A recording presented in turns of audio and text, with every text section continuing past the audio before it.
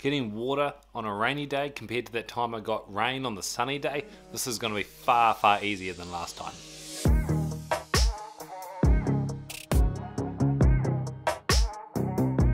So this started out like pretty much all my other studio projects. The table, the black cloth, the light, the tripod, and the item that I'm shooting that needed a very vigorous cleaning. I then placed an item in that fish tank just to get me some focus on so I could compose my shots, work out my lighting, etc. And then proceeded to put jug after jug after jug of water in that fish tank till it was nearly full. See, don't ever fill your tank right to the top because then when it comes time to scooping that water out, as you put your jug or cup in to scoop that water out, it overflows. So nearly to the top is key. So when I was setting this up, I was trying to remove as many reflections as possible, which meant blocking out all the windows in my studio again.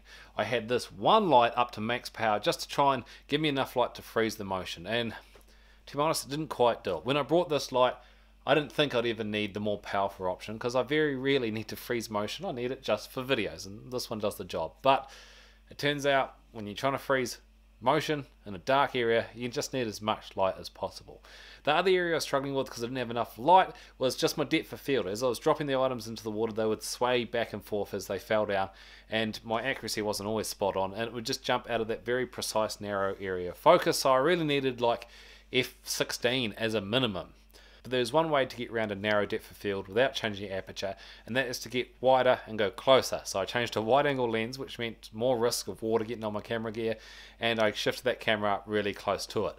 This did mean I had to put a black towel underneath my um, fish tank in the end just to try and remove some of those reflections, and I was getting a lot of the shots in the tank and it, it got quite tricky, but I thought if I get my shots clear enough, it'll work. I also had to get rid of the constant light and change over to just a speed light, a flash. This was far more powerful. It means it dropped my shutter speed down to 250th of a second because that's the sync speed of the X-T4 for triggering with a flash, but I could have a broader depth of field and I just have to time my shots. So initially with the constant light, I was trying to do it with a burst by going and holding that shutter down and that high speed continuous and firing off lots of shots. We've gone to one single powerful burst of light from a speed light, I had to get my timing right. So I had to drop and just as it got through the water, hit that shutter button to trigger that shot.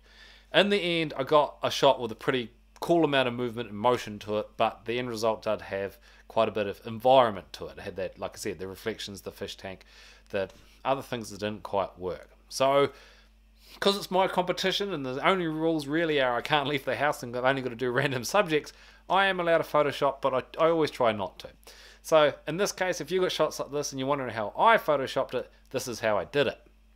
First of all, I unlock the layer, and then I make a new layer underneath it that is completely black. I went black because that's what color I'm trying to make on my surroundings in this case. I then clicked on my original photo and go through all the different blending modes just until I find one where most of the image disappears pretty well. I then duplicate that photo again and put it underneath itself and mask out where that blending mode has affected my object in the photo. So my lemon's gone too contrasty, my water doesn't quite look right, I've just masked that out so I can see through to the normal looking lemon. What I then didn't like was the top of the fish tank I could still see, and I had to do a little bit of masking just around the edges, etc., and where it hit the water. So I proceeded to Photoshop out both that, that um, water line and the top of the fish tank. Though once I'd finished all that editing, I realized it looked a little bit weird without having the water line in it, so I edited that back in, and in the end, I'm really happy with the final photo.